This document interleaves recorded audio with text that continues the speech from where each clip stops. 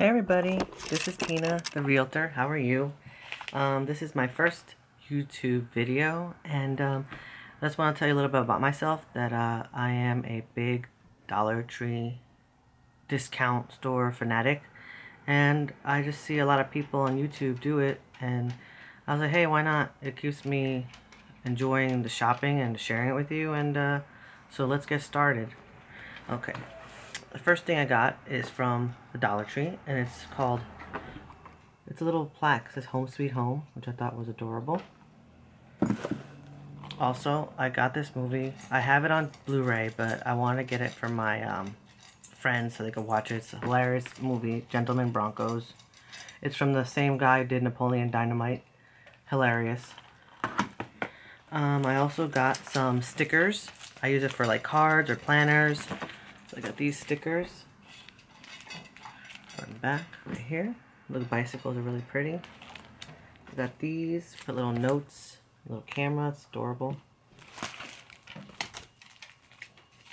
Here's some for like birthday, for like kids or whoever, adults too. There's another one with flowers. Today I like adventure. I love adventure, I mean. Some cute stuff. And I think I showed you this one, the bicycles, another one like this. I also got these stickers. I think I'm going to give these to my nieces for Christmas. Little fairies. I got two of these, one for each of them. Or I might just cut one in half and give them half each and keep one for myself. Little mermaids. And little owls. More stuff from the Dollar Tree. These are little clips that I love for like bags and stuff. So I got these clips little duckies. These clips, a ladybug and a bumblebee and a froggy. I got these little um, clips for hanging my Christmas cards. So I'm going to put it like around. See what I have my back of my sign says Merry Christmas. The banner. So I'm going to put that over there. So I could get what Christmas cards I receive. I'll just clip them up there. This has Christmas trees on them. And this one, like another one has snowflakes, which I thought was cute. No. I also got these pens. These are wonderful pens. They dry, they write so smoothly, and um, they're very good quality. 50 cents a piece, pretty much. I got these. I was thinking about using them for um, Christmas presents or holiday presents. So instead of the regular labels, and you can use it for other things too.